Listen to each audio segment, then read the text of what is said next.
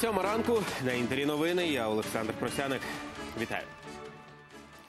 У бою на сході країни загинув український військовий. Напередодні окупанти здійснили понад десяток обстрілів. Окрім стрілецької зброї, застосовували важкі міномети та гранатомети. Найманці атакували практично на всіх напрямках лінії розмежування. У районі Ломакінового на півдні Донеччини армійці ліквідували снайперську точку противника. Повідомили у штабі операції об'єднаних сил. На Донецькому напрямку тривають навчання українських бронетанкових підрозділів. Україна відвела важке озброєння від лінії розмежування згідно з мінськими домовленостями, але танкісти постійно шліфують техніку протидії можливому наступу противника. Докладніше про тренування далі.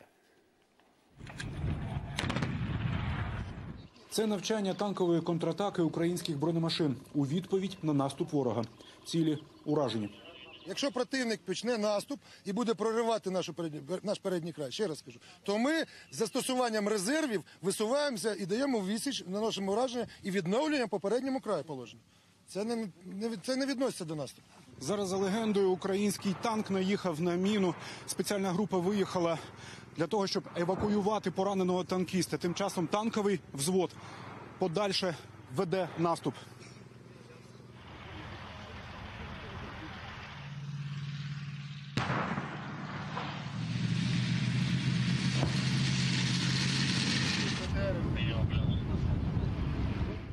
Артем з уявно підбитого танка ділиться щойно здобутими навичками.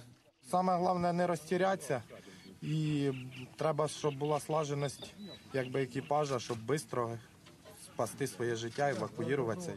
Танки долають перешкоди. В контратаці задіяний взвод однієї з танкових бригад. За сценарієм навчань на допомогу приходить взвод панцерних машин піхоти. Перед ними прохід також заміновано.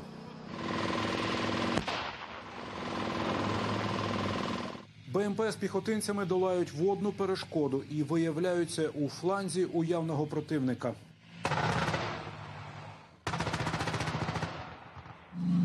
Круто. Дуже класно. Самочувствие таке в душі аж зіграло. Відпрацьовують і протиповітряну оборону. Зенітна установка на одній із бойових машин слідкує за небом під час уявного бою. Ми готуємося до виконання мети операції, зазначено відповідним законом. Мета операції е, визначена звільнення і встановлення конституційного ладу на всій території Донецької та Луганської області.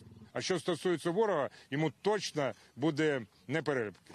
Чергові два бронетанкові взводи відпрацювали бойове злагодження дій. Танки зараз відведені за угодою мінська від лінії фронту, але у разі ймовірного наступу противника танкісти обіцяють блискавично прийдуть на допомогу українській піхоті на передовій.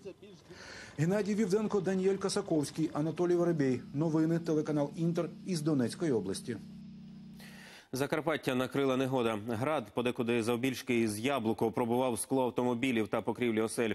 Шквальний вітер повалив дерева. Загалом пошкоджено близько двох сотень будинків. Найбільше постраждав Іршавський район. На Львівщині вода підтопила дороги та житлові будинки. А автотраса Львів-Краковець перетворилася на річку. У Яворові пошкоджено лінії електропередач. Без даху залишилася будівля райвійськомату. Циклон частково зачепив і Тернопільщину.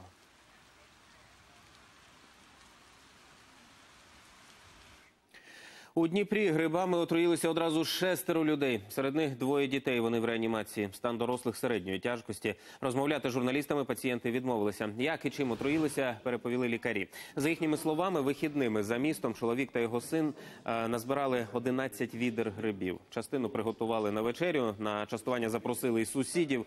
Уже над ранок усім стало зле. Люди вчасно звернулися по допомогу. Тім робити остаточні прогнози лікарі ще не беруться. Палладины, которые начинают работать с первых 20 минут попадания, они в это время уже поражают печень. Поэтому до третьих-пятых суток никто прогноза никакого не дает. Это связано с тем, что у нас нет точной лабораторной диагностики. Э, Это билетная поганка нет. Очень похоже по клинике, это очень похоже. Поэтому мы всех больных с такой симптоматикой лечим как бледную поганку. Потому что если мы три дня упустим, то на четвертый день уже делать будет нечего. Миколаївські правоохоронці знайшли хулігана винного в масовому отруєнні учнів. Нагадаю, 21 травня з Миколаївської школи номер 6 ушпиталили 36 дітей.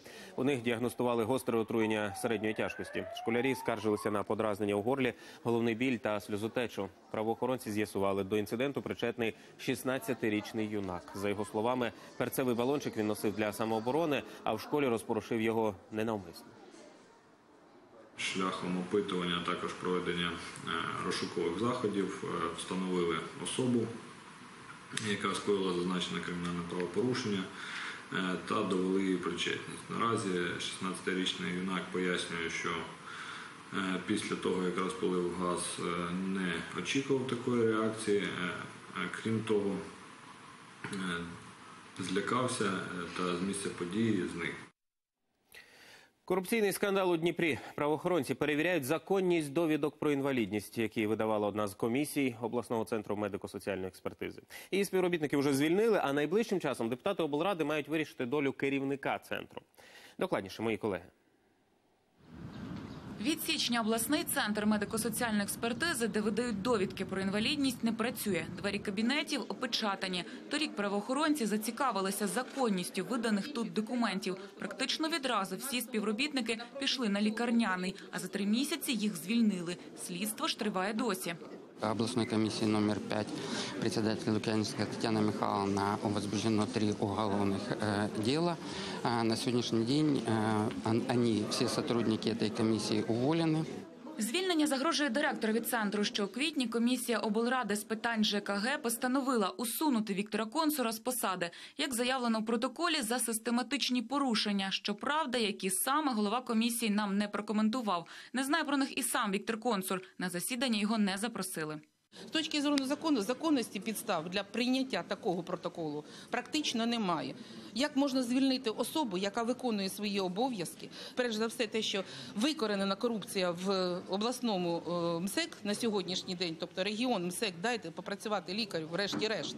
Днями відбулося чергове засідання комісії з питань житлово-комунального господарства та комунальної власності. Питання про звільнення директора центру не стояло, тому слухати учасників АТО, які прийшли його підтримати, ніхто не став.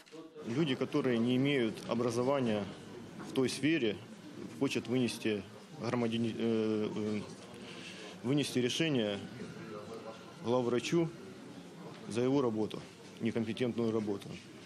Громадскость против. У комісії змінювати своє рішення не збираються і готують проект постанови, який хочуть винести на найближчу сесію облради. Адже тільки депутати мають право або звільнити Віктора Консура, або залишити на посаді. Анастасія Старовойт, Олена Мендалюк, Євген Коденцов. Новини телеканал Інтер. Дніпро. Озброєний чоловік понад 5 годин утримував двох заручників у середмісті Парижа. Інцидент стався в бізнес-центрі 10-го округу столиці. Зловмисник облив своїх бранців бензином і вимагав зв'язатися з посольством Ірану, щоб передати повідомлення для французького уряду. Також ствердував, що має зброю і може підірвати бомбу у приміщенні. Правоохоронці пішли на штурм будівлі. Нападника затримали. Ніхто не постраждав. Історія однієї можливості так у Білому домі назвали стрічку про перспективи подальшого розвитку північної Кореї. Спочатку пророчу короткометражку Дональд Трамп продемонстрував Кім Чен Іну, а згодом вона з'явилася на сторінці Білого Дому у Фейсбуці. У чотирихвилинному відеоролику кольорові кадри чергуються з чорнобілими. Кольорові показують сучасні технології та щасливих людей. Чорнобілі, убогість, запуски ракет, порожні полиці магазинів. Нагадаю, історична зустріч американського та північнокорейського лідерів відбулася напередодні в Сінгапурі. По завершенні сторони підписали документ щодо ядерного роззброєння на корейському півострові. Кім Чен Ын назвав зустріч хорошою прелюдією до миру і пообіцяв, що невдовзі світ побачить серйозні зміни. Також лідери домовилися навідатися один до одного з офіційними візитами. Двері в ЄС для Македонії тепер відчинені. Країна владнала суперечку щодо назви з сусідньою Грецією. Напередодні Афіни і Скоп'є домовилися, що Македонію відтепер називатимуть Північною Македонією, на відміну від грецької провінції. А восени ще й запитають думку самих громадян. У Україні має відбутися загальнонаціональний референдум з цього питання. Натомість і вступ до євроспільноти почнуть обговорювати в Брюсселі вже сьогодні. Як кандидата розглядатимуть також Албанію. Врегулювання спору з назвою робить можливим і приєднання Македонії до НАТО. Поки що це все. Наступний випуск буде о 8 годині. Тоді і побачимося. До зустрічі.